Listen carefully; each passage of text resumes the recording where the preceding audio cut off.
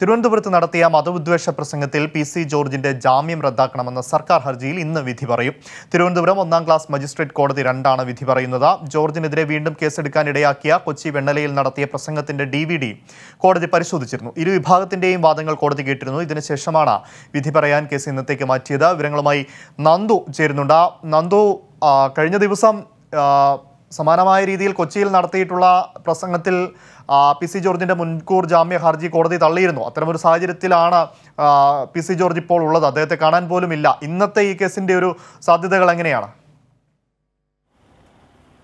എന്തായാലും അമൽ ഹിന്ദു മഹാസമ്മേളനത്തിന്റെ വേദിയിൽ വെച്ചായിരുന്നു പി സി ജോർജിന്റെ ഒരു മതവിദ്വേഷ പ്രസംഗം നടത്തിയത്. നൂറ്റി അൻപത്തി മൂന്ന് എ പ്രകാരമാണ് അദ്ദേഹത്തിനെതിരെ കേസെടുത്തത്. എന്തായാലും അതിനുശേഷം അദ്ദേഹം ഉപാധികളോടെ അദ്ദേഹത്തിന് ജാമ്യം ലഭിക്കുന്ന ഒരു രീതിയിലേക്ക് കാര്യങ്ങൾ പോയിരുന്നു.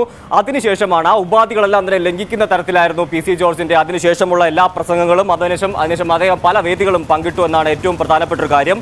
അതേസമയമാണ് സർക്കാർ അദ്ദേഹത്തിന് ജാമ്യം റദ്ദാക്കണമെന്ന് ആവശ്യപ്പെട്ടുകൊണ്ട് വീണ്ടും ഹർജിയിലോട്ട് കാര്യങ്ങൾ പോകുന്നത്. ഇന്നലെ വാദം പൂർത്തിയായിരുന്നു. പക്ഷേ ഏറ്റവും പ്രധാനപ്പെട്ട ഒരു കാര്യം.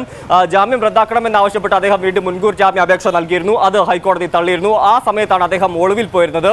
എന്തായാലും അദ്ദേഹം ഇന്നലെ ഈരാറ്റുപേട്ടയിലെ വീട്ടിലെത്തിയെന്നാണ് നമുക്ക് ലഭിക്കുന്ന ഒരു വിവരം. എന്തായാലും ഇന്ന് ഉച്ചയോടുകൂടി തിരുവനന്തപുരം ഒന്നാം ക്ലാസ് മജിസ്ട്രേറ്റ് രണ്ട് കോടതി അദ്ദേഹത്തിന്റെ വിധി പറയുമെന്നാണ് നമുക്ക് മനസ്സിലാക്കാൻ സാധിക്കുന്നത്. ഇന്നലെ സർക്കാർ അഭിഭാഷകർ തന്നെ പ്രത്യേകിച്ച് എറണാകുളം വെണ്ണലയിൽ നടത്തിയ ഒരു പ്രസംഗത്തിന്റെ മൂന്ന് ഡി വി ഡികൾ ഇന്നലെ ഹാജരാക്കിയിരുന്നു. അതിൽ ഒരു ഡി വി ഡി മാത്രമാണ് അദ്ദേഹം ഇന്നലെ കോടതി ആ, കേട്ടത്. പക്ഷേ സർക്കാർ അഭിഭാഷക പറഞ്ഞ ഒരു കാര്യം ദൃശ്യങ്ങൾ കാണിക്കുക മാത്രമായിരുന്നു ലക്ഷ്യം. എന്തായാലും ഇത് തെളിവുകളായിട്ട് നൽകാൻ ഇപ്പോൾ കഴിയില്ല. അതുകൊണ്ട് തന്നെയാണ് അദ്ദേഹം സർക്കാർ അഭിഭാഷിക കൃത്യമായ രീതിയിൽ ദൃശ്യങ്ങൾ മാത്രമാണ് നൽകിയിരുന്നത്. മൂന്ന് ഡി വി ഹാജരാക്കിയത്. മുപ്പത്തിയേഴ് മിനിറ്റുള്ള മൂന്ന് ഡി വി ഹാജരാക്കിയിരുന്നത്. ഒരു സ്വകാര്യ ചാനൽ പ്രത്യേകിച്ച് ഒരു യൂട്യൂബ് ചാനലിൽ ഒരു ദൃശ്യങ്ങളാണ് ഡി വി ഡിയിൽ പകർത്തി നൽകിയത്. ആ ഒരു വിശ്വാസ്യത ആ ഒരു ചാനലിന്റെ വിശ്വാസ്യതയെ കൂടി പി സി അഭിഭാഷകൻ ഇന്നലെ ചോദ്യം ചെയ്യുന്ന ഒരു രീതിയും ഉണ്ടായിരുന്നു ചെറിയ വാഗ്വാദങ്ങളിലേക്കൊക്കെ തന്നെ ഇന്നലത്തെ കോടതി സാക്ഷിയായി എന്ന് തന്നെ പറയാം. എന്തായാലും ഇന്ന് ഉച്ചയോടുകൂടി ആ ഒരു